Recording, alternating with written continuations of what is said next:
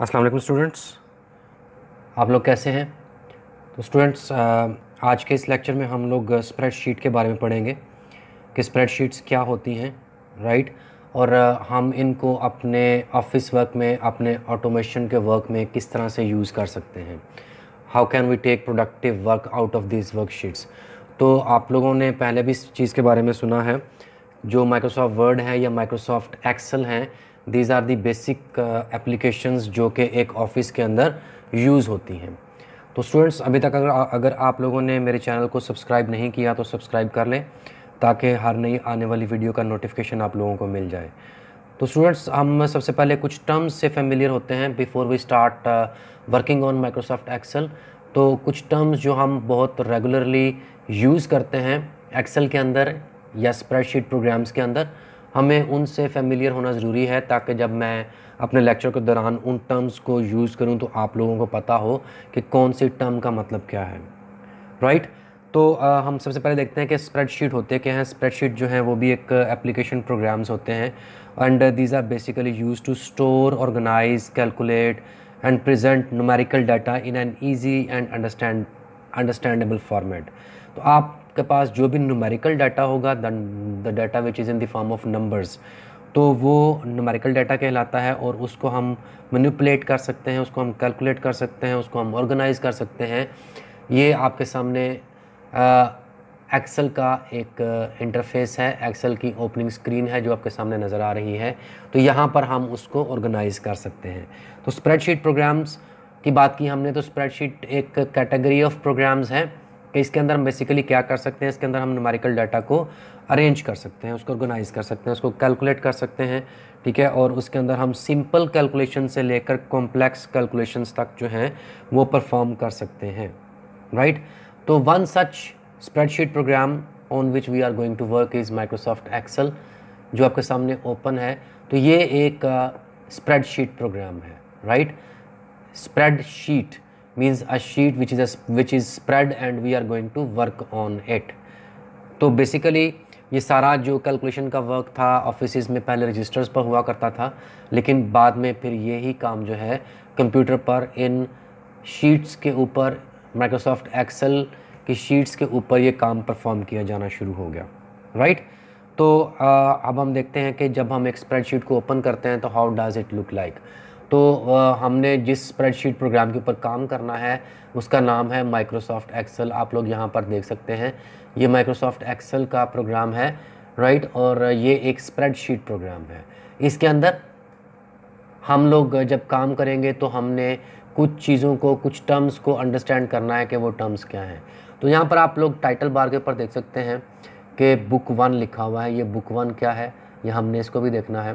But before that आप लोग ये जो आपके सामने स्क्रीन नज़र आ रही है सारी, इसको देखें तो इसमें आपके पास वही चीज़ें हैं with different option with different commands look इसकी वैसी है जैसा कि माइक्रोसॉफ्ट वर्ड की होती है।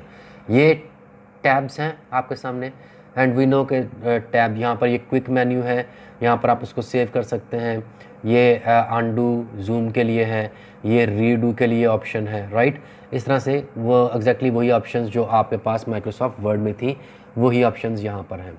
यकीनन आप लोगों ने माइक्रोसॉफ्ट वर्ड के वीडियो लेक्चर्स को देखा होगा और उनको प्रैक्टिस भी की होगी। तो फिर ये चीज़ें आपके सामने नई नहीं हैं।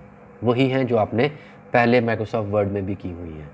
तो यहाँ पर ये टैब्स हैं, यहाँ पर आपके पास file home insert page layout formulas data review and view ये डिफरेंट टैब्स हैं। जब आप एक टैब पे क्लिक करते हैं तो इसकी डिफरेंट ऑप्शंस आपके सामने अपीयर होती हैं। ये होम का टैब है, ये वैसी ही है, इसकी बहुत सारी चीज़ें वैसी ही हैं, जैसी कि माइक्रोसॉफ्ट वर्ड में थी with with little change of commands in it insert का टैब है, इसकी ऑप्शंस डिफरेंट हैं पेज लेआउट तो ये वैसे ही काम करता है जैसा आप लोगों ने माइक्रोसॉफ्ट वर्ड में किया था। तो अब हम बात करते हैं यहाँ पर जो डिफरेंस है वो क्या है कि ये आप सामने देख सकते हैं, यहाँ पर आपके सामने रेक्टेंगुलर सेल्स बने हुए हैं। ये एक सेल है, ठीक है? और वी कैन सी कि जब हम एक सेल के ऊपर क्लिक करते हैं माउस पॉइंटर से क्लिक करते हैं तो we get a darker rectangular shape on it इसको क्या बोलेंगे? इसको माइक्रोसॉफ्ट एक्सेल का कर्सर बोलेंगे। जो वर्ड में कर्सर था, वो एक ब्लिंकिंग आई था कैपिटल आई लेकिन यहाँ पर जो कर्सर है, जिस, जो आप, जो पॉइंट करता है कि आप इस वक्त कहाँ पर पॉइंट कर रहे हैं राइट ये एक रेक्टेंगुलर शेप है विच इज़ डार्कर और इसको आप इस शीट के ऊपर, जो डिफरेंट सेल्स के ऊपर मूव करवा सकते हैं राइट तो बिफोर दैट आप यहाँ पर देखें तो यहाँ पर बुक वन लिखा हुआ है राइट तो बुक वन क्या है? बेसिकली आपको मैं इसकी एग्जांपल इस तरह से दूँगा कि जिस तरह से आपके पास एक टेक्स्ट बुक होती है तो वो सारी एक बुक है। जो टेक्स्ट बुक है, वो सारी एक बुक है। और उसके ऊपर जो डिफरेंट पेजेस हैं दोज आर कार्ड शीट्स उनका क्या है? उनको क्या कहेंगे? उनको हम शीट्स कहेंगे। तो वो जो शीट्स हैं, वो वो चीज़ें हैं जब वो, जो पेजेस आपकी बुक के ऊपर होती हैं, ठीक है, वो वो चीज़ें हैं जहाँ पर आपने प्रैक्टिकली या जहाँ पर आपने काम करना होता है। अगर हम बुक की एग्जांपल दें तो पूरी बुक जो है, वो एक बुक है राइट और जो उसके अंदर डिफरेंट पेजेस हैं दोज आर कॉल्ड शीट्स और हर इंडिविजुअल शीट के ऊपर आप कोई ना कोई अलहदा से काम परफॉर्म कर सकते हैं। तो यहाँ पर आप देख सकते हैं तो यहाँ पर जो इंडिविजुअल शीट्स हैं आप यहाँ पर इस बार में देखें माउस पॉइंटर को फॉलो करो तो यहाँ पर लिखा हुआ है sheet one sheet two sheet three यहाँ पर और शीट्स भी हैं। ये जो आपके पास बटन है यहाँ पर, इसको यूज़ करके आप ज़्यादा शीट्स को लेके आ सकते हैं और शीट्स भी शो कर सकते हैं। तो यहाँ पर थ्री शीट थ्री है। अगर मैं यहाँ पर क्लिक करता हूँ तो यू कैन सी कि यहाँ पर शीट एट और भी है शीट नाइन ठीक है, इस तरह से डिफरेंट शीट्स आपके सामने यहाँ पर ओपन हो रही हैं right sheet three sheet four like this आप क्लिक करते जाएँगे तो sheets one two three already होती हैं। Sheets three four five six आपकी ज़रूरत के मुताबिक आप उनको फर्दर यहाँ पर ओपन कर सकते हैं। अगर आप इनको हाइड करना हो तो शीट के ऊपर राइट क्लिक करें और हाइड पे क्लिक कर दें तो आपकी शीट जो है वो हाइड हो जाती है। आप शीट को डिलीट भी कर सकते हैं। यहाँ पर राइट क्लिक करें तो यहाँ पर आपके पास डिफरेंट ऑप्शन हैं। इंसर्ट मीन्स कि आपने एक नई शीट इंसर्ट करना चाहते हैं। डिलीट है रीनेम है। आप इन शीट्स को तो इन इन डिफरेंट ऑप्शन को हम फर्दर आगे लेक्चर्स में देखेंगे। ये आपका इंट्रोडक्टरी लेक्चर है, जिसमें आप लोग इसके इंटरफेस को अंडरस्टैंड करेंगे। तो यहाँ पर आपके सामने यहाँ पर शीट्स हैं। तो ये ये वैसे ही है, जैसे आपके पास एक बुक के अंदर एक पेज या एक रजिस्टर के अंदर एक पेज होता है और आप उस पर काम करना शुरू कर देते हैं। तो यहाँ पर भी ये आपके सामने एक शीट है, जिसके अंदर मल्टीपल एक ये शीट है। और बुक का मतलब है कि आपके आपके पास जो डिफरेंट एक बुक है, उसके अंदर मल्टीपल शीट्स हैं। जिस तरह एक रजिस्टर या बुक होती है उसके अंदर आपके पास डिफरेंट पेजेस होते हैं मल्टीपल पेजेस होते हैं तो आप उन पेजेस में मूव भी कर सकते हैं आप किसी और पेज पे भी जा सकते हैं आप आ, हर पेज को यूज़ कर सकते हैं आप उनको स्किप भी कर सकते हैं ठीक है? तो यहाँ पर जो नंबर ऑफ़ शीट्स है वो more than twenty five sheets आपके पास होती हैं जिनको आप यूज़ कर सकते हैं। एक बुक के अंदर मल्टीपल शीट्स होती हैं और हर शीट के ऊपर इस तरह से सेल्स बने होते हैं। इनको हम सेल्स बोलते हैं राइट तो ये जो सेल्स हैं मैं इसको जूम करता हूँ कि आप लोगों को कुछ आसानी हो जाए। तो यहाँ पर जो सेल्स हैं, ये एक रेक्टेंगुलर शेप है, ये इसको इसको हम सेल कहते हैं, ठीक है? तो हमने पहले कॉन्सेप्ट अंडरस्टैंड कर लिया कि बुक क्या है और उसके अंदर ये शीट्स क्या हैं। अब हम देखते हैं कि एक शीट के ऊपर सेल्स होते हैं, ये सेल्स बनते कैसे हैं? तो यहाँ पर आप देख सकते हैं कि ये ए बी सी ये कॉलम्स हैं। जब हम बात करते हैं एक वर्कशीट के अंदर काम करने की तो we basically work in the form of columns ये कॉलम है, ठीक है? और इस तरह से ये हॉरिजेंटल में एक रो है। तो आप रोज़ एंड कॉलम्स की फॉर्म में यहाँ पर काम करते हैं। जब एक कॉलम और एक रो जो है, ये इंटरसेक्ट करते हैं, इस तरह से हमने देखा कि यहाँ पर ये एक कॉलम मैं एक कॉलम को हाईलाइट करता हूँ और मैं फिर एक रो को हाईलाइट करता हूँ। तो यहाँ पर आप देखें तो यहाँ पर एक इंटरसेक्शन की फॉर्म में एक रेक्टेंगल बनता है, जिसको हम सेल कहते हैं। ठीक है? तो यहाँ पर हमने माइक्रोसॉफ्ट एक्सेल के अंदर सेल्स की सेल्स के अंदर काम करना होता है। हमने अपना डेटा नुमेरिकल डेटा या टेक्स्ट डाटा इन सेल्स के अंदर टाइप करना होता है, ठीक है? लेकिन एक सेल बनता कैसे है? It is made by the intersection of a column and a row इसके इंटरसेक्शन से यहाँ पर आप देख सकते हैं कि ये आपके सामने एक जो है वो सेल क्रिएट होता है। This is how cells are made right तो एक शीट के अंदर हम देखते हैं कि एक शीट के अंदर कितने कॉलम्स होते हैं, क्योंकि यहाँ पर आप लोगों को, आप लोग देख रहे हो कि ए बी सी ये जो कॉलम्स हैं these are labelled as A B C D E तो फिर इसका मतलब है यहाँ पर ट्वेंटी सिक्स कॉलम्स होंगे राइट आप यही सोच रहे होंगे। और इस, जहाँ पर यहाँ पर आप देख सकते हैं कि जो नंबर रोज़ हैं they are numbered like one two three four तो ये कितनी है? तो हम ये भी देख सकते हैं कि एक शीट के अंदर कितने कॉलम्स और कितनी रोज़ हो सकती हैं। ठीक है? तो आप लोगों ने ऐसा हरगिज़ नहीं सोचना कि यहाँ पर जो है कॉलम्स जो हैं वो ट्वेंटी क्योंकि ट्वेंटी अल्फ़ाबेट्स हैं तो फिर ट्वेंटी ही हमारे पास सॉरी ट्वेंटी सिक्स अल्फ़ाबेट्स होते हैं तो ट्वेंटी सिक्स ही हमारे पास कॉलम्स होंगे राइट ऐसा हरगिज़ नहीं है। तो यहाँ पर हम इसको मैं आप लोगों को वन बाय वन यहाँ पे शो करता हूँ। मैंने कर्सर को यहाँ पर राइट की तरफ़ मूव करना शुरू किया। तो आप लोग देखेंगे कि जैसे ही यहाँ जी जी पे आए, ये जीत कॉलम है। इसके बाद फिर क्या शुरू हो गया? जो कॉलम है, वो आप देख सकते हैं कि ए ए ए बी मीन्स कि अब जो नेक्स्ट कॉलम आएगा जी के बाद, वो कौन सा कॉलम होगा? अल्फ़ाबेट आपके रीस्टार्ट हो गए ए से और साथ में ए के साथ फिर ए जो है, हर कॉलम के साथ ए जो है, वो ए बी सी आना शुरू हो जाएगा। You can see over here कि आपका पहला पहला अल्फ़ाबेट और उसके साथ अगेन 26 टाइम्स अल्फ़ाबेट्स आ रहे हैं। ए ए A B A C A D इस तरह से राइट तो ये जाएगा ए जी तक जाएगा, उसके बाद फिर बी शुरू होगा B A B B B C B D इस तरह से। तो इस तरह से we get a large number of columns तो हम देखते हैं कि हम जो है हमारे पास मैक्सिमम नंबर ऑफ़ कॉलम्स कितने हैं और वो अल्फ़ाबेटिकली कहाँ तक जाते हैं। ये अगर आपने देखना हो तो फिर हम क्या करेंगे? हम कीबोर्ड से कंट्रोल की और अगर हमने रोज़ देखनी है, हमने कॉलम्स देखने हैं तो फिर राइट एरो की प्रेस करेंगे।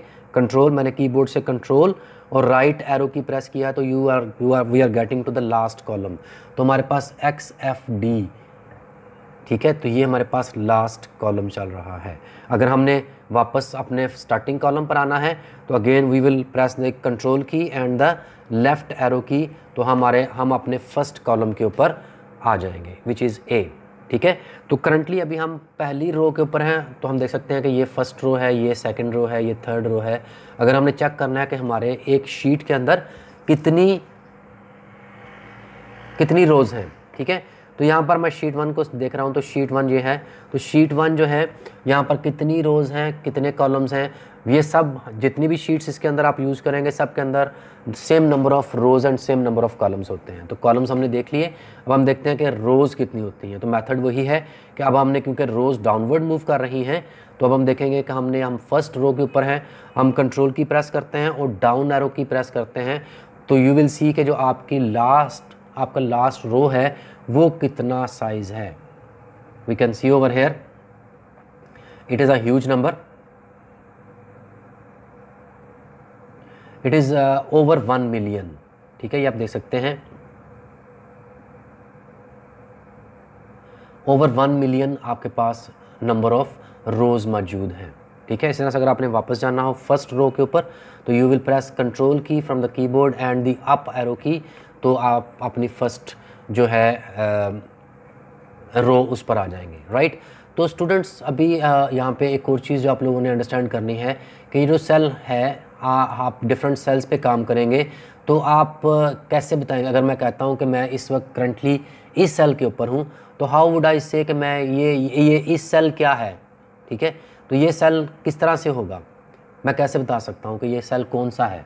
तो इसके लिए हम एक टर्म यूज़ करते हैं which is called cell addresses तो हम सेल एड्रेसेस हर एक सेल का एक सेल एड्रेस होता है, और हम उस सेल एड्रेस के लिहाज से ही उसको आइडेंटिफाई करते हैं या उसको एड्रेस करते हैं कि हम इस वक्त करंटली कौन से सेल के ऊपर हैं। And how this is made एक सेल एड्रेस कैसे बनता है? तो यहाँ पे आप देख सकते हैं कि ये ऊपर कॉलम्स हैं और ये रोज़ हैं। तो अगर आप देखें तो मैं करंटली यहाँ पर हूँ तो इस वक्त इस कॉलम का जो कलर है, जो जो कॉलम लेबल है, उसका जो कलर है येलो है। और इस वक्त जिस रो के ऊपर हूँ, वो भी, उस रो का भी जो नंबर है, वो येलो कलर में है। ठीक है? Column current current column and current row ये इस वक्त एक्टिव हैं। विच शो के आप लोग करंटली कौन से कॉलम पर और कौन सी रो के ऊपर हो? तो ये जो सेल है, ये क्या, ये इसका इसका एड्रेस कैसे बनता है? First of all you have to see the column label I है, ठीक है? और इसकी रो क्या है? ट्वेल्व तो इसका एड्रेस क्या हुआ? आई ट्वेल्व इस तरह से अगर हम इसकी बात करते हैं तो K is the column and eleventh is the row तो इस सेल का एड्रेस के एलेवन हुआ। तो ये तो आप लोग खुद से एड्रेसेस को देख रहे हैं कि ये का, एक डिफरेंट सेल्स के एड्रेसेस क्या होंगे। अगर मैं इस वाले सेल की बात करता हूँ तो कौन बताएगा कि ये ये कौन सा सेल एड्रेस है? जी ये जी फाइव है राइट अगर मैं इस वाले की बात करता हूँ तो यू कैन टेल मी कौन सा है ये? ओ फोर तो ये तो आप लोग खुद से कैलकुलेट कर रहे हैं, लेकिन इस स्क्रीन के ऊपर आपको एक वो जगह है जहाँ पर आपका करंट सेल एड्रेस जो एक्टिव सेल होता है, वो नज़र आ रहा होता है। एक्टिव सेल वो होता है जिसके ऊपर आपका ये डार्कर रेक्टेंगुलर कर्सर मौजूद होता है। That is called your active cell right तो ये एक्टिव सेल है। तो एक्टिव सेल का एड्रेस आप लोगों ने खुद से कैलकुलेट किया तो एम एट और अगर आप कंफर्म करना चाहते हैं तो you can see over here you follow my pointer यहाँ पर ये देख सकते हैं, ये एम एट लिखा हुआ आ रहा है। जब आप डिफरेंट सेल्स पर मूव करते हैं तो यहाँ पर ये डी सिक्सटीन तो यहाँ पर ये डी सिक्सटीन आपको सेल एड्रेस नज़र आ रहा है। तो ये वाला आपका एक्टिव सेल हुआ। तो एक्टिव सेल जब भी आपने, अगर आपने इसमें, इस वाले सेल में टाइप करना है तो you have to bring the pointer over here और अब आप इस पर टाइप करना शुरू कर सकते हैं। लाइक like मैं यहाँ पर टाइप कर रहा हूँ। ठीक है? तो जो आपका एक्टिव सेल होगा, जहाँ पर होगा, वहीं पर आप उसको, आप इन्फॉर्मेशन को टाइप कर सकते हैं राइट तो this is your opening screen जिस पे आप फेमिलियर हो सकते हैं इस लेक्चर को सुनकर राइट अगर आपने, बाकी चीज़ें वही हैं कि अगर आपने डिलीट करना है तो कैसे करना है? अगर इस सेल में इंफॉर्मेशन है, इसको डिलीट करना है तो आपने इस सेल पे क्लिक किया, आपने कीबोर्ड से डिलीट की प्रेस की तो वो डिलीट हो जाता है। इसके अलावा आपको यहाँ पर ये नज़र आ रहा है एफ़ एक्स मैथ्स वालों को पता होता है कि यहाँ पर ये एफ़ एक्स का मतलब क्या है कि यहाँ पर आप एक फ़ंक्शन या एक फार्मूला जो है वो टाइप कर सकते हैं। तो जब आप क्लिक करते हैं यहाँ पर तो आप यहाँ पर फार्मूला टाइप कर सकते हैं। अब जब आपने फार्मूला टाइप करना है तो वो नज़र कहाँ पर आएगा? सपोज़ आपने यहाँ पर ये फार्मूला टाइप करना है तो पहले आप क्या करोगे?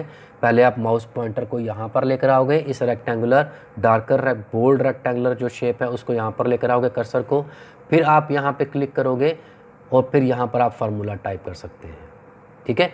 तो ये आपकी फार्मूला बार है, जहाँ पर आप फार्मूला टाइप कर सकते हैं, यहाँ पर भी टाइप कर सकते हैं। ये नहीं कि यहाँ पर टाइप नहीं कर सकते, यहाँ पर भी टाइप कर सकते हैं और यहाँ पर भी टाइप कर सकते हैं। क्योंकि यहाँ पर सेल का एक स्पेसिफिक साइज़ होता है तो जैसे जैसे आप फार्मूला को टाइप करते जाएँगे तो जितना तो इस सेल के अंदर नज़र आता है, वो आपको नज़र आएगा, लेकिन बाकी आपको नज़र नहीं आएगा। तो उससे बेहतर क्या है कि आप उसको यहाँ टाइप करें। तो ये आपका यू कैन सी ओवर है कि ये लंबी एक बार है, जिसके ऊपर आपका बहुत लेंथी फार्मूला भी आपको नज़र आएगा। ठीक है? तो ये इसका डिफरेंस है।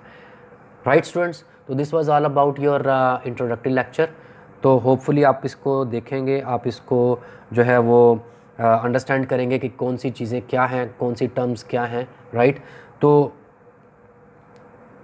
आप लोगों ने इस लेक्चर को प्रॉपरली अंडरस्टैंड करना है राइट और uh, आप लोगों ने इसको प्रॉपरली देखना है और प्रैक्टिकली करके देखना है ताकि आप लोगों को इस सारे लेक्चर की समझ आ जाए कि इसको आप लोगों ने करना कैसे है और डिफरेंट चीज़ें जो आपके सामने हैं वो किस तरह से हैं। इसका जो नेक्स्ट लेक्चर होगा, उसमें हम लोग देखेंगे कि हम लोग जो लिस्ट हैं वो कैसे क्रिएट करते हैं, ठीक है? और हम लोग जो हैं इसमें फिर आहिस्ता आहिस्ता आगे मूव करते जाएँगे और डिफरेंट लेक्चर्स जब आप लोग लेंगे सीक्वेंस में तो फिर आप लोगों को सारी चीज़ें आपके सामने क्लियर होती जाएँगी।